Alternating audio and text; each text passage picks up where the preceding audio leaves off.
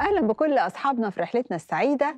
برحب بيكم وأصحابي الموجودين معايا النهارده وكلنا النهارده هنروح في رحلة لمكان جميل جدا.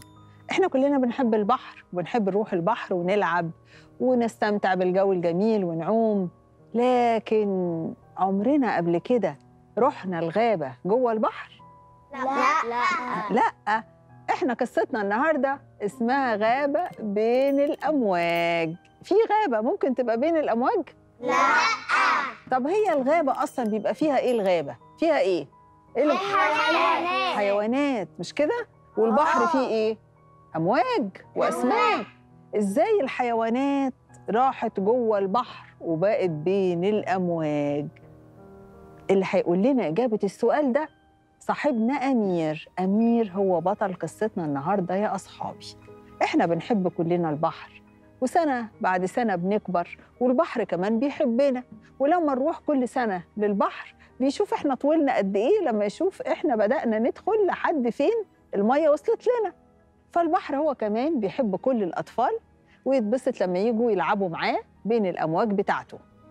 لكن في ولد البحر بيشوفه كتير كتير بيزوره.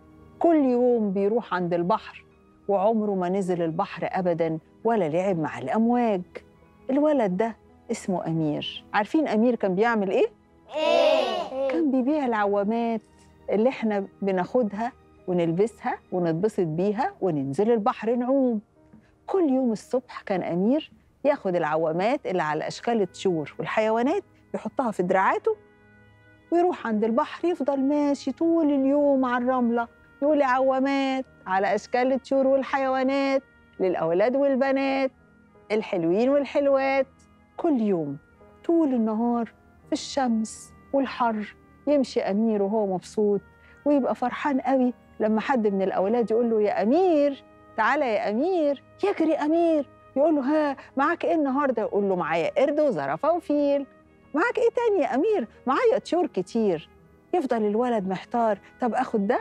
ولا ده ولا ده وفي الآخر يختار العوامة اللي تعجبه يدخل بيها البحر وأمير يفضل واقف على الشط يعمل له باي باي وهو مبسوط إنه الولد اشترى منه عوامة حلوة ودخل البحر وهو مبسوط ومعاه عوامته لكن أمير هل أمير بينزل زيهم البحر؟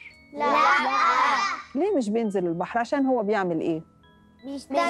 عشان هو بيشتغل بس رغم إنه بيشتغل ومش بينزل البحر لكن عمره ما كان زعلان أبدا ويقول إشمعنى أنا ما بنزلش؟ إشمعنى كل الأولاد بيروحوا البحر وأنا لأ؟ لأنه كان عارف إن هو اللي بيعمله ده في أجازة الصيف إنه بيشتغل عشان يساعد باباه ومامته في الصيف لأنه هو برضه داخل على المدرسة والمدرسة محتاجة مصاريف كتير فهو كمان لازم يساعدهم إنه طول الصيف يشتغل ويبقى معاه فلوس لما تبدأ الدراسة يدخل المدرسة تاني ويبقى الفلوس دي يقدر يساعد بيها باباه أو مامته في مصاريف المدرسة. ده حاجة كويسة ولا وحشة؟ كويسة كويسة. ده تصرف كويس بيعمله أمير؟ آه.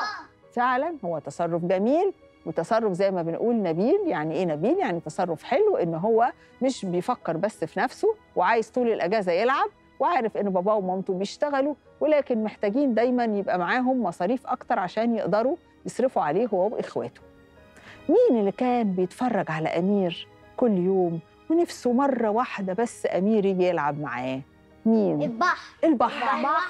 البحر. البحر بقى يقول إيه؟ نفسي مرة الولد ده يجي يلعب معايا. أنا بشوفه كل يوم وأبقى مبسوط بيه. بس هو عمره عمره ما قدر يلعب معايا لأنه طول النهار رايح جاي رايح جاي. وما بيمشيش غير لما خلاص الشمس بتبدأ تغرب وكل الناس اللي قاعدين على الشاطئ خلاص يبقوا عايزين يروحوا. هو كمان بيروح. إحنا ممكن نلعب في البحر بالليل؟ لا. ممكن نروح البحر بالليل؟ لا. طبعا لا. في يوم يا أصحابي من الأيام كان خلاص الصيف بدأ يخلص والناس خلاص بدأت ما تجيش كتير البحر وبدأت الأيام تبقى إيه ساقعة شوية بس مش قوي. برضو أمير قال لحد آخر يوم في الأجازة أنا لازم أشتغل ويمكن ربنا يعني يكون شايل لي حاجة كويسة وألاقي ناس قاعدين على الشط. في اليوم ده أمير راح ومعاه العوامات بتاعته ولكن الحقيقة ما كانش فيه ناس خالص غير يمكن ناس بسيطة قوي ومش معاها أطفال فمش هتشتري عوامات. البحر قال بس دي فرصتي. النهارده أنا هخلي أمير يجي ويلعب معايا. طب إزاي بقى البحر يخلي أمير يجي يلعب معاه؟ هيعمل إيه؟ إيه؟ أمير رايح جاي رايح جاي البحر قال يا موج يا موج بسرعة بسرعة موجة قوية خليها تضرب أمير جامد. ليه تضرب أمير جامد؟ الموجة عشان- لما ضربت أمير جامد وهو ماسك العوامات في دراعاته غصب عنه رجله اتحركت. لما رجله اتحركت إيه اللي وقع؟ العوامات. وقعت وجريت جوه المية. طب هو هيعمل إيه وقتها؟ هيجري وراه. هيجري وراها يبقى دخل جوه إيه؟ البحر. جوه البحر. عارفين بقى إيه اللي حصل؟ العوامات يا أصحابي لما دخلت جوه البحر كانت عاملة زي الغابة لأنها البحر بقى كله حيوانات. صحيح مش حقيقية بس زي الغزالة اللي معانا حيوانات من العوامات. كل عوامة عليها راس حيوان. أسد غزالة فيل درفيل كلهم سوا بيلعبوا. في الحقيقة هم مش أصحاب. يعني هقول لكم مثلا الفيل بيعيش على الأرض ولا في البحر؟ على الأرض. والدرفيل بيعيش في الأرض ولا في البحر؟ في البحر. هل ممكن الاثنين يبقوا أصحاب؟ لا. لكن في البحر كانوا أصحاب. لما العوامات دخلت جوه البحر الفيل اتصاحب على الدرفيل. طب الأسد ممكن يبقى صاحب الغزال؟ لا. الأسد في الحقيقة بيعمل إيه في الغزال؟ بياكلوا بياكلوا لكن لما كانوا العوامات في البحر العوامة اللي عليها الغزال والعوامة اللي عليها الأسد. بقوا صحاب غابة كانت جميلة قوي لأن كل الحيوانات فيها عايشين في سلام وأصحاب وأصواتهم بقى كلها البحر بيتخيل طبعا إن أصواتهم كلها بقت مع بعض. يعني مثلا الحصان صوته اسمه صهيل والحمام صوته اسمه هديل. يعني أنتوا لو لقيتوا بنوتة اسمها هديل تعرفوا إن معنى اسمها هو صوت إيه؟ الحمام. الحمام. الحمام. الحصان بيسهل جامد والحمام الهديل بتاعه جميل وهما الاتنين مبسوطين. كل الحيوانات والطيور بقت بتلعب مع بعضها ومبسوطين والبحر مبسوط بيهم لكن أكتر حاجة البحر كان مبسوط بيها هو مين؟ أمير. بدأ البحر يلعب مع أمير ويحس إن أمير إيديه غير إيدين كل الأطفال التانيين لأنه بيشتغل وماسك العوامات على طول في إيديه وكل عوامة مربطها بحبل عشان ما تطرش منه. فإيديه خشنة لأنها بتعرق طول النهار ماسك العوامات وماشي في الحر في الصيف فإيديه خشنة البحر قال إيدين أمير لازم نقول لها متشكر ونقول لها إحنا بنحبك يا أمير يلا يا سمك السمك الصغير جه وقعد إيه كده يطبطب على إيدين أمير يخليها كده إيه ناعمة ناعمة. وجميلة و- و- وكده مش تعبانة ومش مش لونها كده أحمر كده و- وحس وحاسين كده إنها وارمة شوية من الحر. يا يا أمير. أمير كان فرحان قوي يقول يا أنا مبسوط قوي أنا مبسوط قوي رجلين أمير كمان. زي رجلين الأطفال التانيين؟ لا لأنه طول النهار ماشي على الرملة السخنة السخنة السخنة. وماشي حافي كمان. رجليه تبقى عاملة إزاي؟ يبقى شكلها وحش قوي تبقى كمان بتوجعه ولا لأ؟ آه. بتوجعه. بس هو مستحمل الألم عشان ده شغله اللي هو عايز يعمله وبيحبه لأنه عارف إن دي الطريقة اللي هتخليه يساعد باباه ومامته. رجلين أمير برضه هي كمان تعبانة قوي وشكلها فعلا كده مجهدة و- ويعني حمرة قوي قوي قوي من الرملة السخنة. يلا بسرعة يلا بسرعة يا سمك. السمك قعد يلعب حوالين إيدين أمير والأعشاب البحرية اللي موجودة في البحر قعدت تدلك رجليه واحدة واحدة. قال الله أنا كده مرتاح. أول مرة أحس إن أنا كده مش تعبان ورجليا وجعاني على طول. يا سلام يا أمير. قد إيه أنت ولد جميل. لأنك بتستحمل كل التعب ده وبتمشي في الحر ما بيهمكش إنك تعبان بس عشان تساعد بابا وماما وتعمل عمل كويس.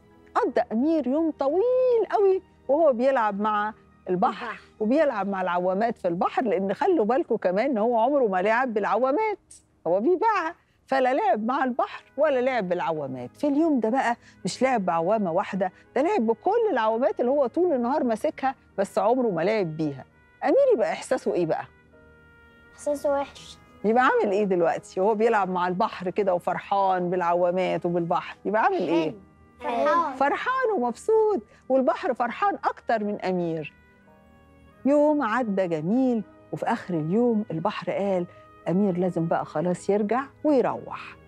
بسرعة يلا يا موج طلع العوامات كلها عشان ياخدها أمير. أمير بيلعب لقى العوامات كلها جاية عليه تاني أخذ العوامات بتاعته وهو مبسوط وفرحان والبحر كمان كان فرحان. بس أنا عايزة أسأل أصحابي سؤال. إحنا لما بنقعد في البحر على الشط وبنشوف الولد أو الأولاد اللي ساعات تمر قدامنا بتبيع العوامات. إزاي بنتعامل معاها يعني بنبقى كده بنعاملها كده إن هم كده بنبص لهم إن هم كده أولاد كده يعني مش زينا بيتفسحوا ولا بيروحوا البحر ولا بنبقى حاسين إن إحنا يعني عايزين نبسطهم عايزين نشوفهم مبسوطين وممكن نشتري منهم عوامة واثنين وثلاثه عشان نحس إن إحنا بنساعدهم. بنعمل إيه؟ بنبقى عايزين نبسط يعني ممكن نحس ان إن الولد ده إحنا ممكن نبسطه إن إحنا نشتري منه آه. بس ما نحسسوش إن إحنا بنعمل كده عشان نساعده.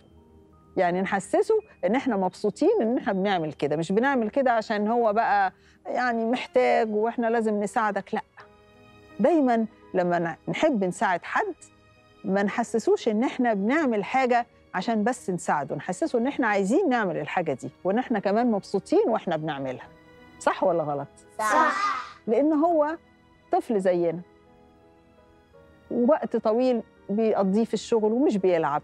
فمن حقه كمان إن إحنا نديله كمان لحظات سعادة إن إحنا بنساعده بس من غير ما نحسسه إن إحنا بنساعده وقاصدين إن إحنا نساعده. أمير كان مبسوط قوي باليوم الجميل ده.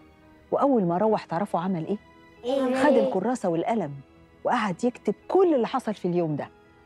وأول ما المدرسة بدأت وأول حصة في العربي المدرسة قالت لهم أنا عايزاكم تكتبوا لي عملتوا إيه في الأجازة. كل واحد يكتب لي أكتر حاجة عملها في الأجازة وكان مبسوط بيها.